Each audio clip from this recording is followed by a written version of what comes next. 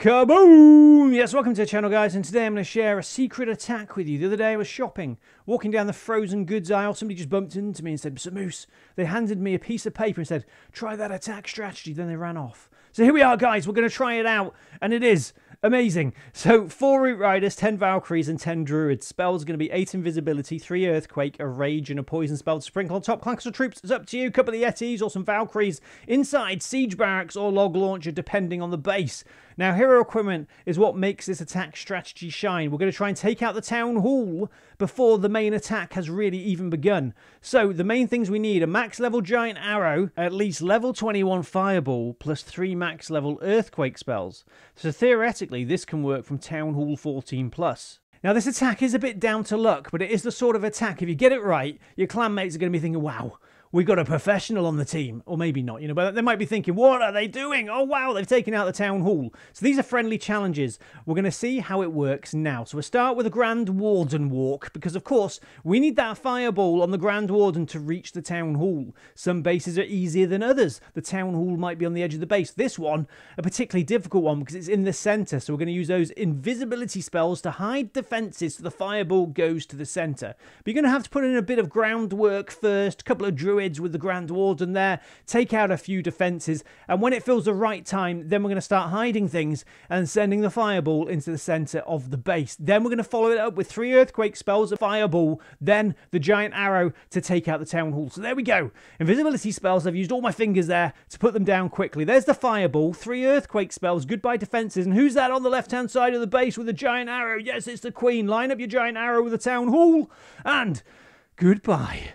Now, is this the best attack strategy at Town Hall 16? Almost certainly not. Is it the most impressive if it goes right? Yeah, I think it is. Uh, it's going to take some practice. You're going to have to think about your warden walk, make sure your warden is okay. Think about how you're going to get that fireball to the Town Hall area. Put down your earthquake spells and then use the giant arrow and make sure you line up the queen so the giant arrow hits the Town Hall as well. One thing to remember, of course, is watch out for battle builders. If they start repairing the Town Hall and you take too long to send in that giant arrow, it might have been repaired and then it might go wrong. But on this base, I know it's a friendly challenge, guys, but I thought, yeah, let's try something a bit different. You know, we've got all these different attacks. Fireball at the moment is really good. But I thought, yeah, let's try taking out the Town Hall nice and early and see how easy it is to get three stars. And it is pretty easy. We've got those Root Riders, we've got the rest of the troops. All I would say is remember to use your Druids on the Grand Warden at the beginning, a couple on the Warden Walk. And then when you've used the Fireball, make sure to put a couple more down. You don't want to just leave your Grand Warden, those Druids turn into bears and he gets taken out. So there is a bit of multitasking. On this channel, what I normally do is easy to use spam attack, sort of difficulty level, I guess, 2, 3 out of 10. This one, probably about 7.1 out of 10, maybe 8 on specific bases, centralized town hall bases like this. But yeah, you know, if you did this in Clan War, League, or War and you get one star, don't blame me. Don't say, oh, I saw this video Sir Moose did. No, just, I'm joking, guys. But yeah, uh, you know, it's a bit risky, of course, but it's something different. And we do have another replay we're going to check out as well. Another town hall that's pretty difficult to take out here.